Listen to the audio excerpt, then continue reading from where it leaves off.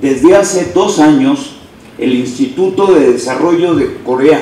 a través del KSP y el Instituto Politécnico Nacional, trabajan en un sistema de planeación tecnológica estratégica para México,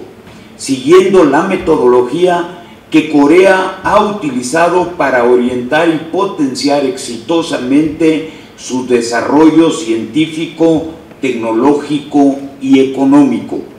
La visión de este país y su apuesta por el conocimiento, la ciencia, la tecnología y la innovación lo han colocado como una de las economías más grandes del mundo.